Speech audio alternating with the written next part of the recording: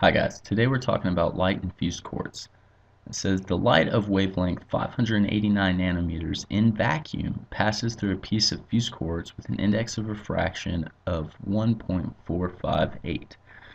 The first part says find the velocity of light in fused quartz. So I've got this equation here and it says n, which is the index of refraction, is going to equal the speed of light in a vacuum uh, divided by the speed of light in a medium. In this case, the medium is going to be the fused quartz.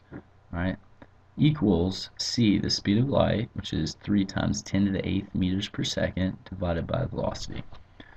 Alright, so I've got n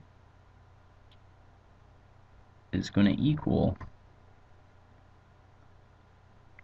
c divided by v.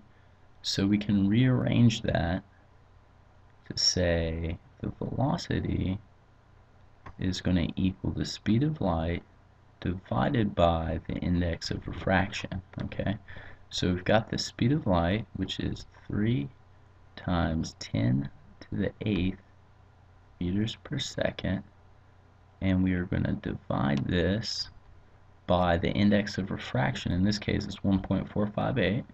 1.458 four, five, eight, and that is going to give us our velocity of light, the velocity of the light while tra uh, traveling through this fused quartz. Alright, so when we do that, we get 2.06 times 10 to the 8th meters per second. Yeah. So we get 2.06 6 times 10 to the 8th meters per second. So that's still pretty, pretty darn quick. For part B, it says find the associated wavelength of this light in fused quartz. So we're going to use this second equation down here. And that's going to be wavelength 1, which is our 589 nanometers, uh, times N1, which is just going to be 1, equals our new wavelength while uh, while the light is in the fused quartz uh, times n2 which is the index of refraction for fused quartz. So we take wavelength 1 which is uh, 589 nanometers. And n1 is just going to be 1 so it's going to equal our wavelength 2 times n2, which we said was 1.458.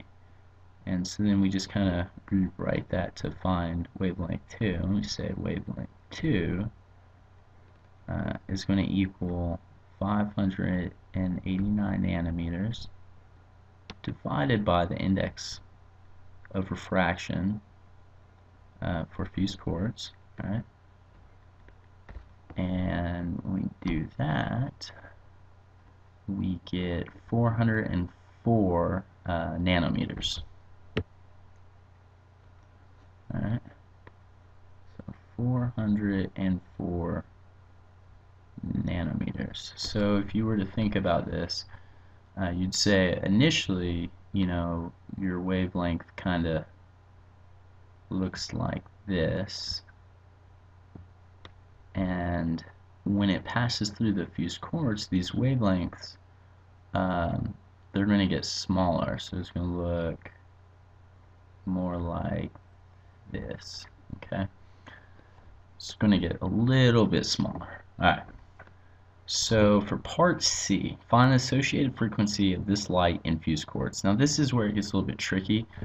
Um, and it's tricky because it's not really intuitive.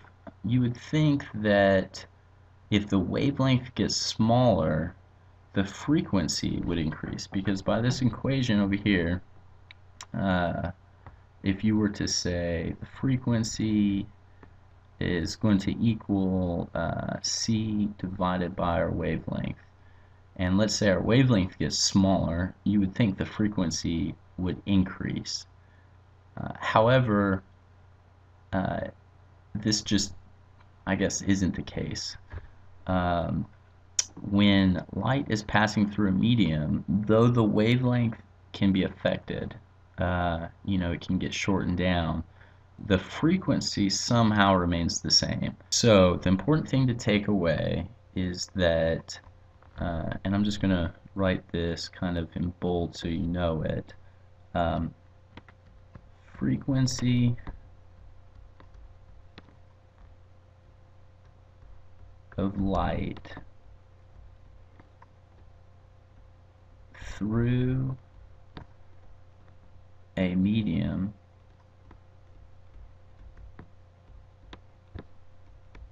Is the uh, same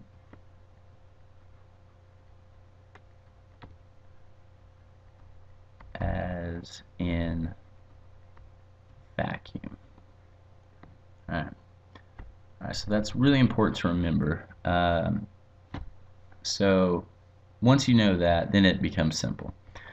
Uh, then you just take your 3 times 10 to the 8th meters per second and divide it by the original wavelength, 589 nanometers, and that's going to give you your new frequency, or, well, uh, the same frequency, I should say. And when we do that, we get a frequency of 5.09 times 10 to the 14th hertz. Okay, so we get uh, 5.09 times 10 to the 14th hertz. Alright, uh, hope that helped.